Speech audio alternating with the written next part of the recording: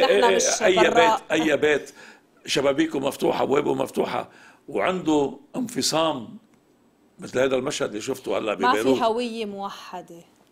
ما في مثل هذا انتماء واحد. اللي شفناه هذيك اليوم بحفلة ال- شو اسمه عمرو دياب؟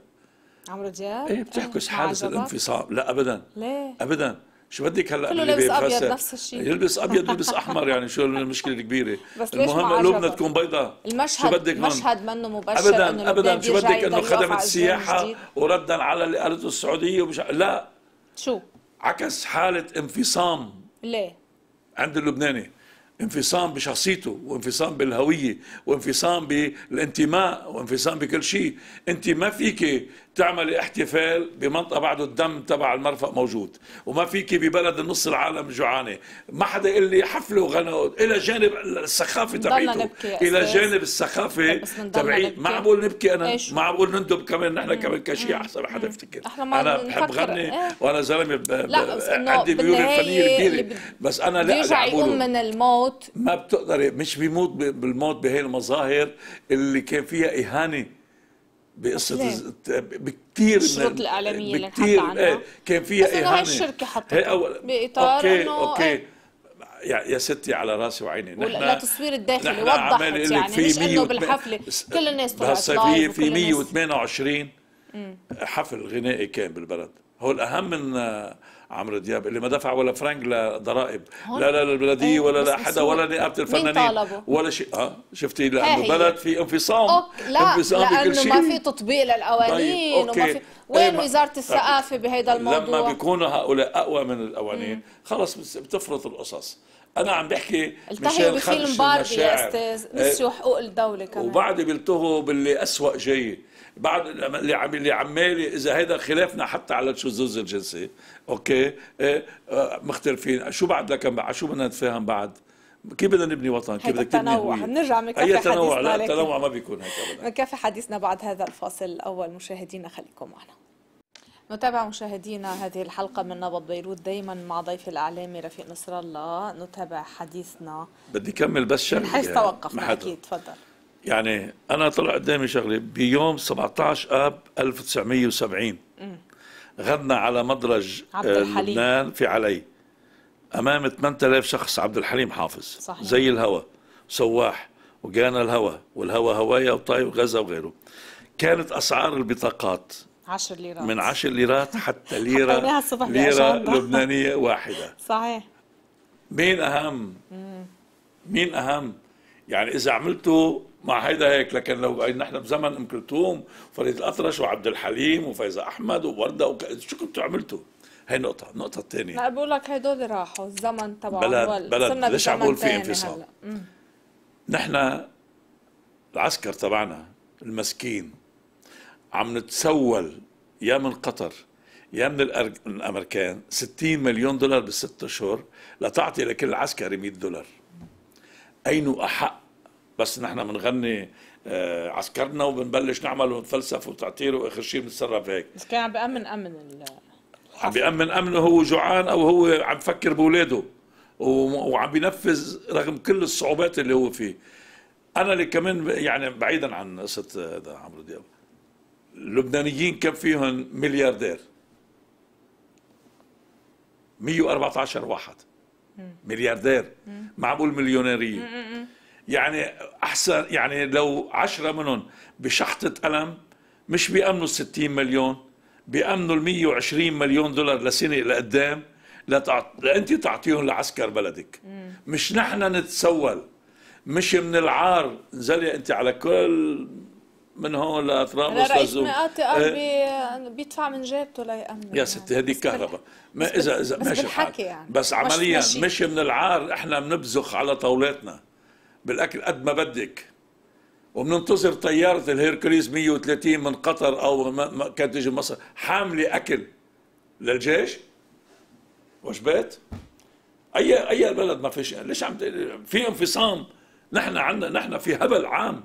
مع احترامي لجزء من الشعب اللبناني اللي بعدهم عندهم انتمائهم ووطنيتهم وبيقدموا وغيره بس 80 90% إذا نحن إنسان بشغله ومجهوده وحياته ما بقول لا عنده اموال في وطنه أهم. شو ذنبه؟ لا في وطنه بس أهم. بس دولته واجباتها تأمن. ليه الفرد هو بده يشتغل عن الدولة والمسؤول يقعد مكتف ما بين الوطن وما بين الدولة أو السلطة.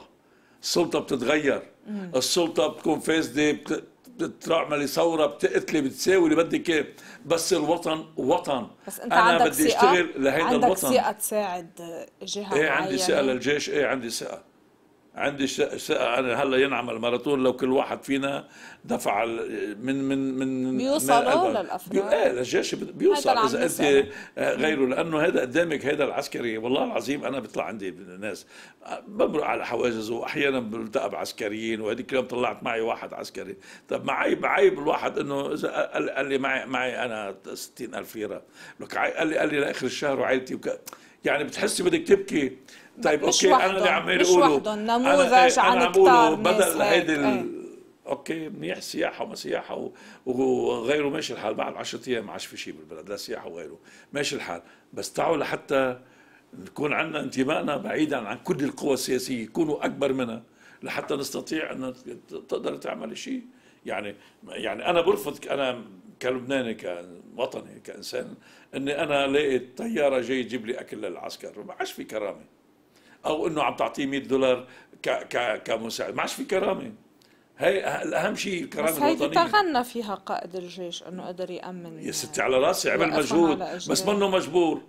منه مجبور يروح يتسولها راح تسولها إذا المضبوط هلا مع احترامي له الشخصي. إنه عال برافو عليه تحمل المسؤولية.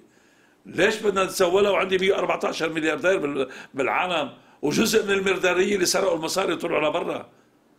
كمان هيدي يعني في هون وين القضاء؟ في أي قضاء؟ بدل ما يكون عم نحكي من باب إنه معه مصاري يروحوا بسبيل الوطن يعطي اللي سارقين يردوا المصريات أي قضاء؟ وأي أمن؟ أي إعلام؟